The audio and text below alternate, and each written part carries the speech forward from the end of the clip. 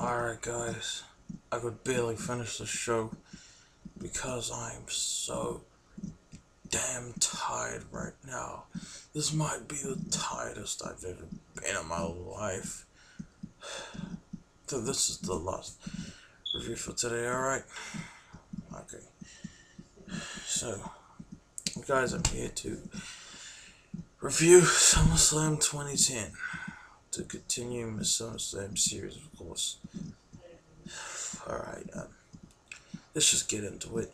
First match, we got Dolph Ziggler versus Kofi Kingston for the uh, Intercontinental Championship.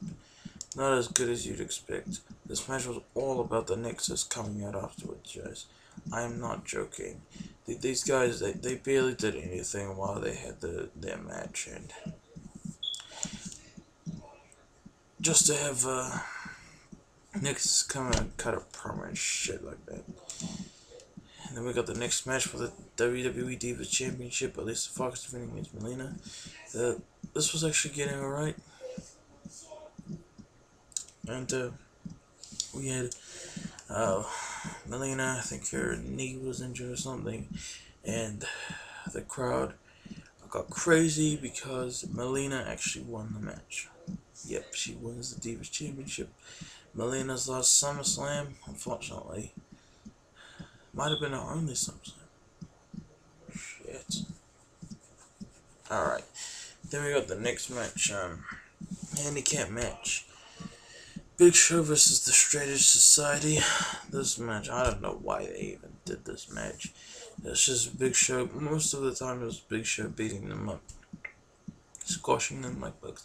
Then again, CM Punk abandoned his team, and uh, Big Show squashed Joseph Mercury and Luke Gallows. He wins. Good for him.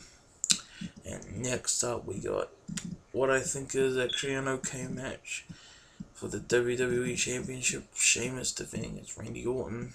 This match was very enjoyable, in my opinion. Uh, I think it lost it. I think it went on way too long though but it was still a good match. I mean, you, it was it was quite back and forth, and you had um, Sheamus getting himself disqualified so that he would keep the title. You know, it was whatever. All right, then we got the match for the Heavyweight Championship. Kane versus Rey Mysterio. This match was decent. I was actually a bit disappointed in this match, and uh, the only thing I hated about this match. Uh, actually, I, I got my words muddled up sorry.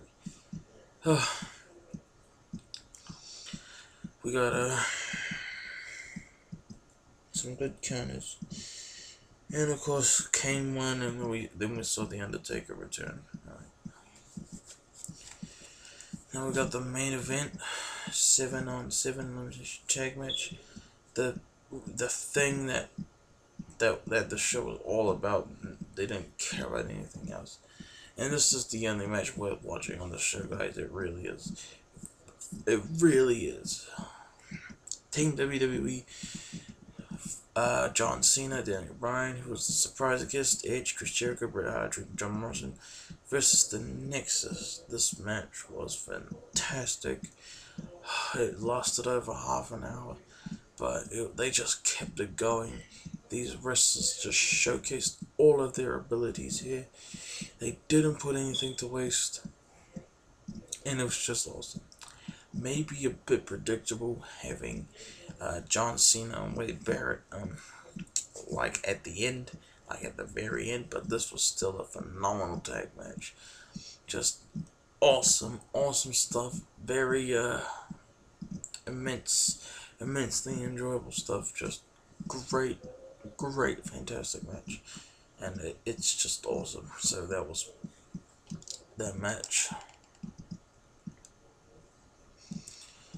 Okay, guys, I'm, I'm sorry, but yeah, that that's the review. Okay, so sorry, guys, I, I'm tired as hell right now. I just want to get this video over and done with. I I tried to do it as as good as I could, despite how fucking tired I am, man.